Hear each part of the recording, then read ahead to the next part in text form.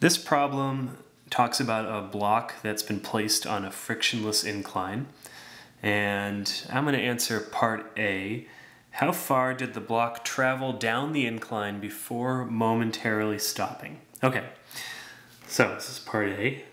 So let's read the information we have here. We have a mass, let's see, that's a mass of three kilograms. And we have an incline of 40 degrees, so that'll be theta, 40 degrees labeled here in the diagram. And we have a spring that was designed to compress by 20 centimeters when a 40 Newton force was applied. So that's really just telling us what the spring constant is. In fact, maybe I'll do that right now. We'll just calculate what that is. So we know that F equals Kx and so K is F divided by X. And so the force it said was 40 newtons. And that's when it compresses by 20 centimeters. That's 0.20 meters. And so if you calculate that, that gives a value of 200 newtons per meter for K. Now I know normally I like to write the final answer just in terms of variables and wait and do all the calculation at the end, but if there's an obvious thing that you can do that is sort of separate from the rest of the problem, that's totally fine. You can go ahead and calculate and get a number for it. So in this case, this tells us what K is. K is 200 newtons per meter. Okay, and see what else we have. The block is released from rest and it slides down the incline. So released from rest, I'll just say its initial speed here is zero meters per second. And it compresses the spring by 12 centimeters. So let's say that's x. And maybe just to make sure, I'll call this x naught just so we know it's not the same x. And this x is 12 centimeters, so that's 0.12 meters. Okay. So I want to know how far did the block travel down the incline before momentarily stopping? Now the first thing that would help here is to recognize that this is an energy problem because um, you could solve it possibly with uh, Newton's laws and force, but it's going to be kind of messy and it'll be a lot easier to solve it using energy. So that's what I'm going to do. And anytime you solve an energy problem, you got to do a few things. First thing we got to do is pick our zero point. In other words, if we're going to measure potential energy, uh, gravitational potential energy, where are we going to measure it from? So here's my spring right now at its uh, equilibrium, and then if it gets pushed in, let's suppose maybe it goes to here when it gets pushed in. So that means that according to what I've labeled here, this distance here is x. So there's x right in there. And here, maybe I'll try and put arrows there so you can see x is from there to there. Okay. And then I need to pick a variable for where the block started, so let's call that d. So this distance will be d. And so my block starts here, and it hits the spring there, and it compresses it down to there. I need to pick a zero line. I'm going to pick, let's say, uh, I'll pick down here. I'll make this be the zero line. Okay, that's where I'm measuring my gravitational potential energy from. Okay, so I think I'm ready to set up my conservation of energy here.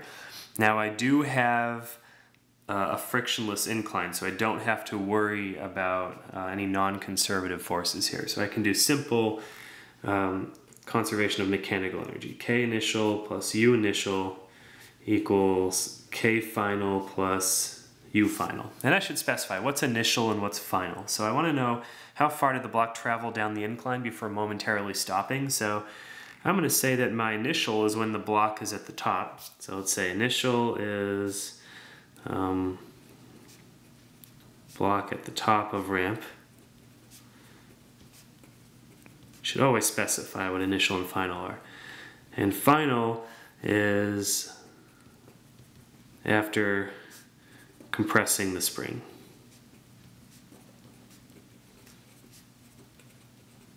Okay, so kinetic energy initial.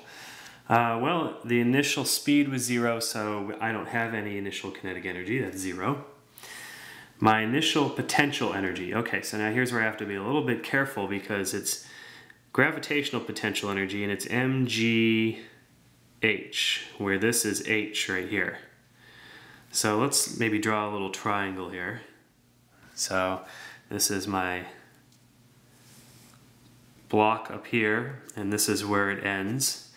And so this distance here, this distance is x plus d. And this is theta, and this is a right triangle, and this is that h I'm trying to calculate right there. And so if we figure out what trig function we want here, this looks like maybe a sine function would be good. So I could say that the sine of theta is h over x plus d. And so that means that h equals x plus d times the sine of theta. Okay, and then I have it written as I want it. Okay, so my initial potential is mg x plus d sine theta. Okay. Kinetic energy final, well, that's also zero because when it stops after compressing the spring, uh, the speed is again zero, so I don't have to worry about that. Uh, but I do have some final potential energy because the spring is compressed. Now I don't have any final gravitational potential energy because at, after compressing the spring, I'm at my zero line. So I don't have to worry about that, but I do have some elastic potential energy, and that's one half k, and then the amount the spring was compressed from equilibrium, I called that x. So 1 half kx squared. Okay, and I'm solving for how far did the block travel down the incline? I'm solving for x plus d. So there's x plus d right there. I can actually just solve for it right now. x plus d equals, and then I want to divide the mg sine theta over to the other side. So 2 mg sine theta and then in my numerator, I have a kx squared. The 2 is from the half right there. Okay, now I can plug in. I think I know what all of these things are. So it's 2 times the mass of 3 kilograms. G is 9.81 meters per second squared. And then the sine of 40 degrees. Okay. And then up top I have K is 200 newtons per meter and X is 0.12 meters and that's squared. Okay. And so now I can calculate that and get my final answer. And for X plus D, if you calculate it, you get 0 0.634 meters, which is 63.4 centimeters.